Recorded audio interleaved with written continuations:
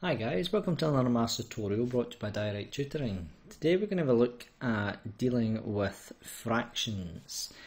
And if we just take a quick overview, fractions are simple and convenient ways of representing decimal numbers, i.e. like 0.5 equals a half or 0.25 equals a quarter. And fractions can be multiplied, divided and added or subtracted just the same as any other number. Now, when we do anything with the fractions, we have two key considerations we must ask ourselves. Do we need a common denominator, which means the bottom of the fraction is the same value, and you do need this when you come to add and subtract fractions. A non-common denominator can apply to multiplying and dividing fractions. So we take a look at question number one, question number one asks us to calculate 3 over 4 plus a fifth. Now, from the rules before, remember that we need a common denominator on the bottom. Now, in order to do this, you can use a method called kiss and smile. And the way that kiss and smile works is you cross multiply and then you times the two numbers on the bottom by themselves, just like the arrows on the screen. I'll show you that one more time. So you cross multiply and then times the 4 and the 5 together.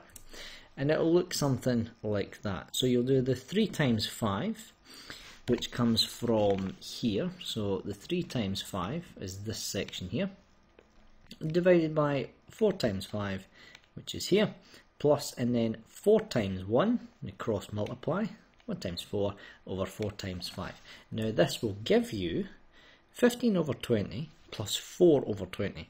Now that has you got the common denominator on the bottom of 20, which means you only add the two top values. So in this case, 15 plus 4 will give us 19 over 20.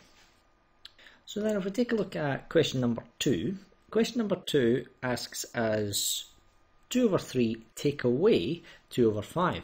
Now again, because we're subtracting, we must get a common denominator on the bottom. So same as question 1, we'll use the kiss and smile method. And again, cross multiply and then times the two numbers on the bottom. So we get the intermediate calculations 2 times 5 over 3 times 5 minus 2 times 3 over 3 times 5.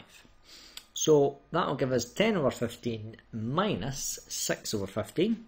Because we've got common denominator now, we just do the two top numbers take away each other, which will give us 4 over 15.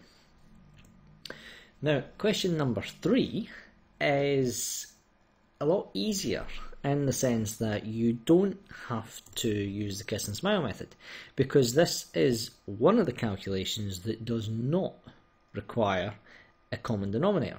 So all you really have to do is times the two tops and times the two bottoms of the fraction and that is it.